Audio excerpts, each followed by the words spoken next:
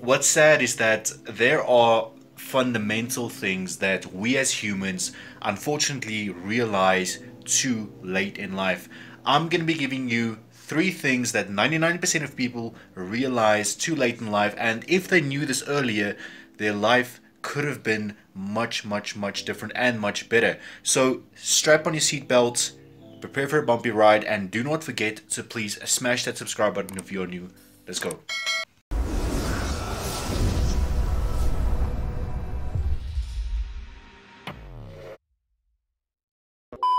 Off by saying that no one is coming to save you. Irrespective of how much hope you may harbor in your heart, irrespective of how much you may be, you know, wishing that that someone just come and save you, just give you a better life. That is not going to happen.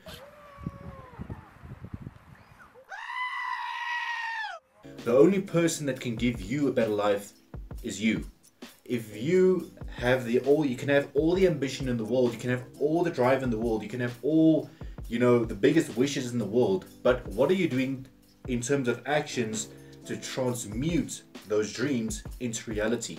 Because a dream without action a dream without definite plans will remain a dream. And if you dream big if, if you have big goals set to yourself obviously your your biggest intention is going to be to transmute those goals um, from something that is exists only in your mind to something that really exists.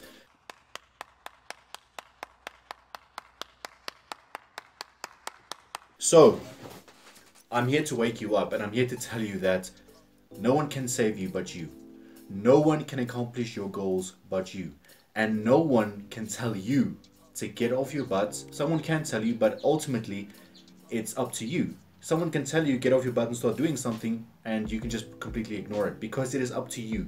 It's up to your mindset. And that's why I continue to preach all of these motivational hacks. I continue to preach all of these simple bad habit breakers, I would I would put it like that way, in order for you to level up in life. So please, too many people realize that or realize this too late in their life. Nobody is coming to save you. And the only person that can build the life you want and the only person that can, you know, achieve the things that you want to achieve is you. So wake up, get to work. Let's move on. Oi, you. Yeah, I'm talking to you. Listen. What's your problem? Why don't you subscribe to the channel? 70 to 80% of you watching right now, statistically, scientifically, are not subscribed. Why?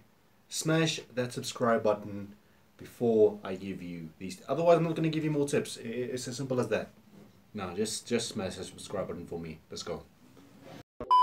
Next thing I want to talk about is something that sadly I actually see so so much, and too many people realize too late in life that they shouldn't have changed for a certain person, whether it be a loved one, whether it be a close friend, a family member if a person has a problem with you and if a person has a problem with your personality and how you are as a human being, that is their issue.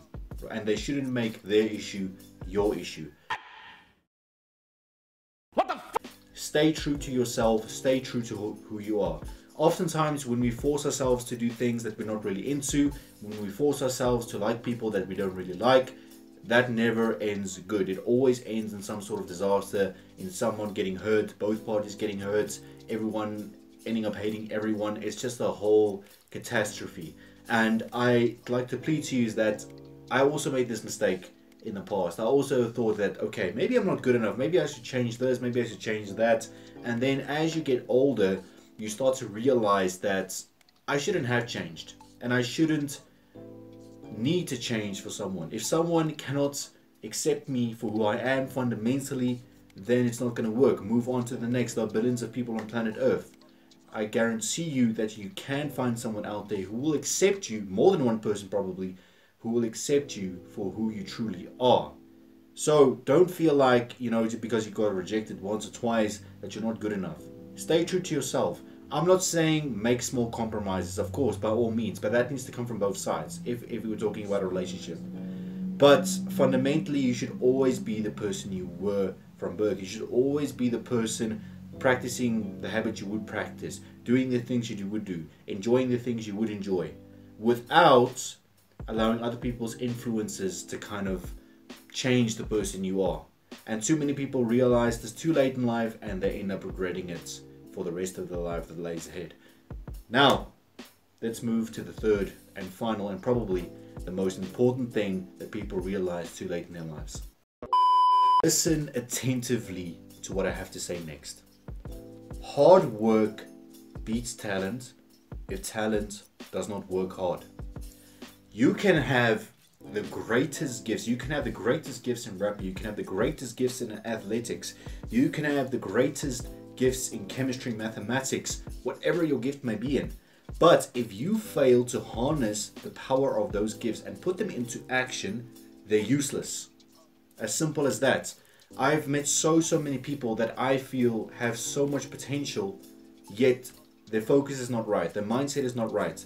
They're, they're, they're focused on, you know, impressing other people, fitting in, rather than pursuing their natural God given talent. And it is very sad because let's say, for example, you have a phenomenal talent in athletics, right? You train hard at the beginning, you're enthusiastic, and then you kind of drop off. You hang out with the with the wrong crowd, you get involved involved with the incorrect things, um, whatever it may be. But it puts you off track, and you end up you as you grow older, you begin to realize that okay, you know what? Maybe I should have pursued that a little bit harder, because I could have been at the nationals.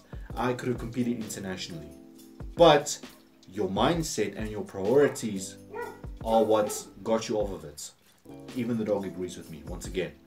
But um, make sure you work hard.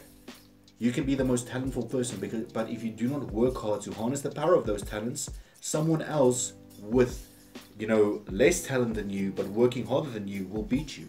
And that is a proven fact. I've seen it happen so many times, and I'm sure you guys in your lifetimes have seen something like this happen.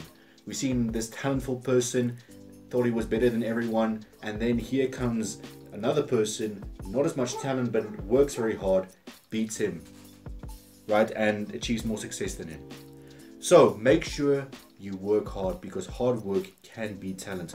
I appreciate you watching this video and if you have any other recommendations that you would like me to talk about, please leave them down below in the comment section. And once again, I urge you to share the videos with everyone you think this may help. I have a lot of videos on a lot of motivational topics on this channel meant for everyone in every type of situation. So be free, feel free and be sure to share it with friends and family and I'll be seeing you next time.